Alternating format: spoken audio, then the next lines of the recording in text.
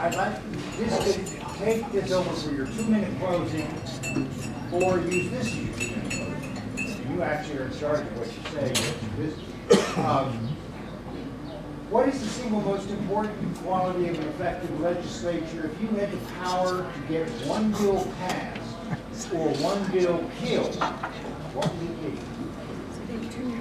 Two minutes each. Please, that would be it. Thank you very much. Now, let's start the way we did in the beginning. Jim, JP, Victoria, Pam, and Charlie. Well, I'll, I'll start with this. Uh, I was out on the, I was up advocating one day and I was working uh, this one particular bill. And I ran into, I needed to talk to Randy Friese and he came out and I think it was the, uh, somebody, some group had a lunch going on and Randy was out getting his plate of food. And I said to Randy at the time, he was thinking about running against uh, Senator Flake for the US Senate. And Farley had already said he was gonna run for governor. And I said to Randy, I said, Randy, I said, I really need to talk to you, and I talked to him about a bill. And then I asked him, I said, you know, um, if you run for the US Senate and Steve Farley runs for governor, who's gonna replace you guys? And he said, well, you're already doing the work. So that's kind of started this whole thing. But you know, uh, one bill that I was very proud that I was very instrumental in getting killed was, uh, was a bill that the governor wanted and he had uh, Heather Carter in the House. He had her start running this bill. And it was designed to take all of the boards, all the licensure boards, and I happened to have once sat on the Arizona Board of Respiratory Care Examiners, and I was appointed by Governor Napolitano. And that's a board that gives the license to respiratory therapists. But he wanted to take and take all of these boards and put them under the director of the Department of Health that he appointed. And this director was going to have the authority that if they didn't like the way one of the boards voted, they could remove some of the board members that voted that way and have them replaced by the governor. And they were all going to be put in this one building so that he could oversee all of these different boards. Well, if you think about that, all he was gonna do was herd all the cattle in and then ship them off to slaughter. So I worked with Senator Barto and we got it decreased enough to where the bill was just, he said, just forget it, don't even run it anymore, we got to forget it. Thank you. What does it take to run an effective legislature? I think inclusion and something else that I find important is being able to find common ground. We don't see that right now. But something that I find to be on the cusp of losing, that I find very important for Tucson and Southern Arizona, is keeping our tax increment financing district, also known as Rio Labor, because the economic impact it's had over the past five years have been incredible. And I think that we can extend these districts to other parts of town as well. What would happen if other smaller cities were given this tax abatement for two years over a five-year plan and they had to pay it all back? Sorry, it's three years and then they have to pay it back in two years. But it spurs on incredible reinvestment in your communities. I remember living downtown five years ago, and it was scary. Places would close at sundown.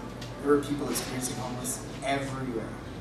And now, with downtown Tucson, they've helped get these people into housing and get them medical care. If we want to grow and be more attractive, we need to make the places that can bring in talent. The way to do that is by making it competitive enough for people to invest in Tucson. Because the streetcar was great, but now we don't have Steve Farley. So what are we going to do to champion that growth, to make sure that Broadway will be incredible, to make sure that we finish the phases uh, by 2026 of Grant Road, even though that's extremely long? How are we going to develop? We should not be intimidated by Road Tucson. And that's what I would like to take with us to the capital. Because how else are we going to retain a higher percentage of our graduates from U of A? We only keep 18% of them. I sit on the board of Tucson Professionals. How are we going to develop and attract and retain people who are talented in this new economy that we live in if all we're doing is using old-time thinking?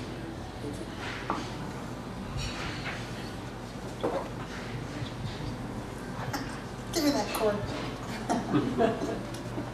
Jim's got it. Okay. Thanks, guys. You sitting on a chair? Uh, No, uh, uh, uh. No games, man. We're friends. We can do this. Um,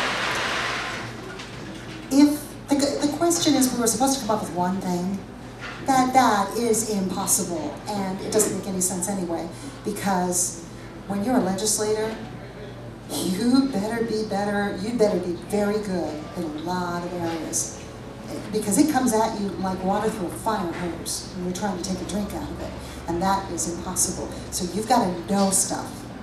So one thing I want you to know about me, I am a candidate, I am a woman, I am an activist, I am someone who walks her talk. I not only showed up, I was one of the speakers in the first Women's March in Tucson. I showed up at the one in Phoenix. I started the NOW chapter, National Organization for Women chapter here in Tucson. I have been to the March for Our Lives. I have marched with the, what was the, the Red for Ed several times. I go to things.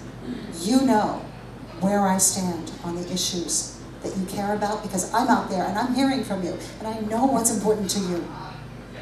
I know what you care about.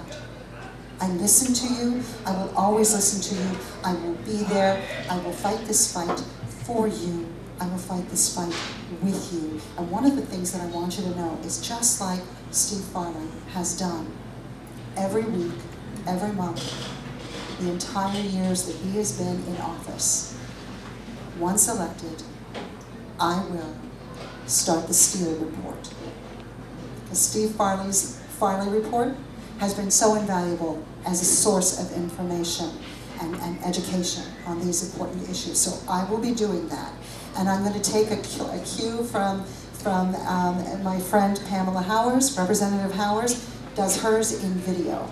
So I will be doing a Farley report, make it a Steele report, with video. Thank you.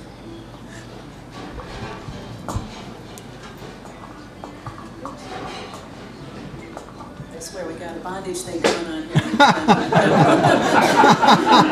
Wrapping this cord around both sides. And so, yes.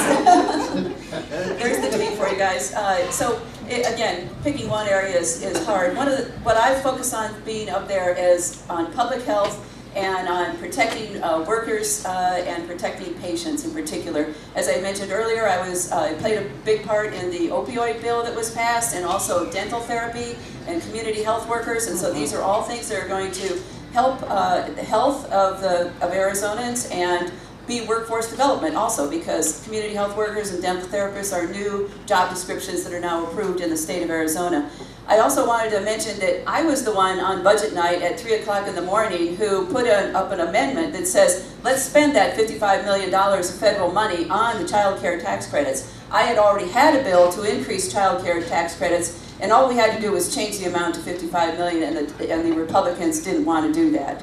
Uh, I also think that we should be helping uh, grow our own local small businesses in Tucson. You know, our, Tucson is the Athens of the West. I keep telling you this, and we could be that place because we have such a strong community for arts and music and culture, and food and science. You know, if, if we played to our strength and tried to grow our own local small businesses rather than giving money away to big corporations that are headquartered elsewhere, we could have a much stronger and a much more diverse economy in Tucson. And as many of you know, my suggestion for growing local small businesses is to work with Local First Arizona and to partner with community banks and a state public bank to offer low interest loans to college students, to get them out of debt, to, uh, and also to grow local small businesses. Because the banks are not lending, and to grow our local small businesses in Tucson, they need capital, and this is how they could get capital to expand. And again, uh, I think that, uh, that this is a, a crossover issue. There are many uh, Republicans in the legislature who want to grow small businesses, and many of them vote against the corporate tax cuts. And so, again, we should be growing our own, and we should be helping our local small businesses thrive and survive, and in addition to helping the people. So, more than sorry. Well, I'm going to make an educated guess here as to what Randy might say. Uh, with that caveat, it's an educated guess.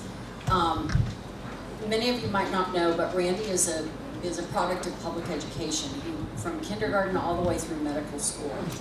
Um, and so I think if we're looking at the question of one bill passed or one area passed and one killed, I think Randy would really want to make our public education system whole because when you have children of every ilk, every socioeconomic structure, uh, race, color, creed, whatever, when you when you provide them with strong, thorough public education or education through the public schools, you are going to impact the community for the rest of their lives.